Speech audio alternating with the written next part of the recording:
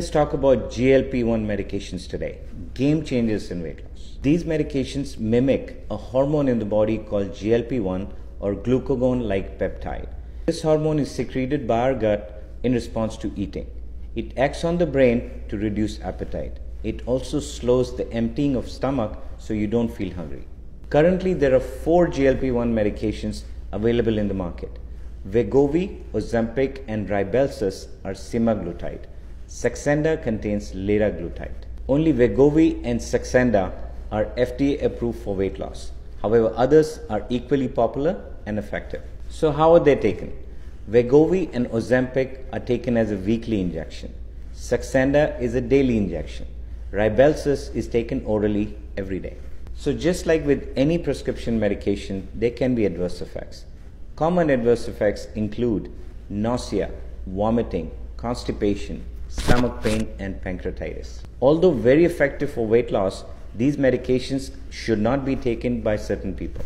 This includes pregnant or breastfeeding women, personal or family history of medullary carcinoma of thyroid, past history of pancreatitis or gastroparesis. So, how much weight loss should you expect from a GLP 1 medication? typically 10 to 20 percent. Most people lose 2 to 4 pounds per week or an average of 15 pounds per month. These medications work well when combined with good lifestyle modifications, including good sleep, low stress, optimal nutrition, and consistent physical activity. So, how long should you take these medications? Remember, obesity is a chronic illness.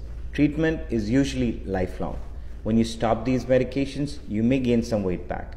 Always take these medications under supervision. The biggest challenge that my patients face with these medications is the cost and insurance coverage.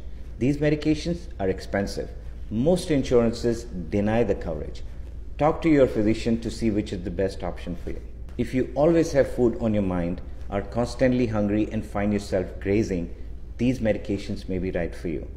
Talk to your obesity specialist. Reach out to me if you have any questions. If you're in the Phoenix area, I'd love to see you.